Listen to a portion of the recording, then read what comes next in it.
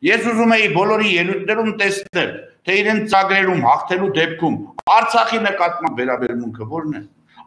Մեր ազատագրված փառասները, որ հիմա թուրքին են կանձնել, դրանց վերաբերյալ մեր արժանապատիվ խաղաղության համար եք մենք իշխանություն ուզում վերցնել Նիկոլից։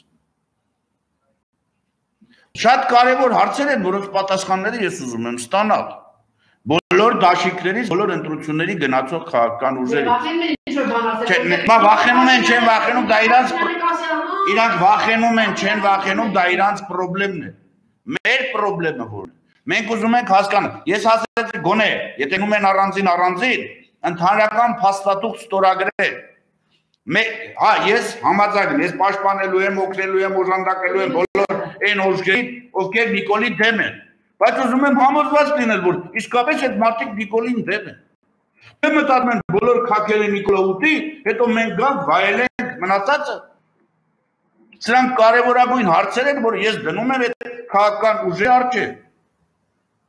Թող գան եւ պատասխանեն այս հարցերին։ Ինչու՞ չձևավորվեց միասնական ճակատ։ Ով դարձավ են հիմնական պատճառը,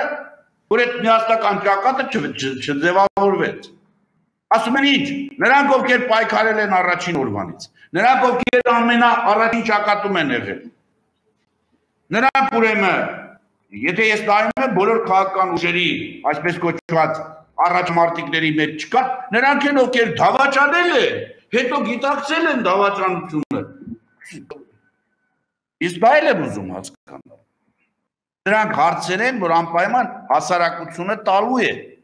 Հիմա ես հարցադրումը անելու անում եմ ավելի շուտ կան դրան կանդրադառնան ուրեմն մարդիկ ովքեր փորձեն այս դաշտերի խնդիրները բարթացնել, որ իրանք մտածեն այս հարցերի պատասխանների շուրջ։ Եթե չունեն, ես կօգնեմ իրանց որ ունենան։ Բայց հարցեր կան նորից կրկնում, որ այսօր գալիս են առաջին պլան եւ այդ հարցերի պատասխանները բոլորը պետք է տան։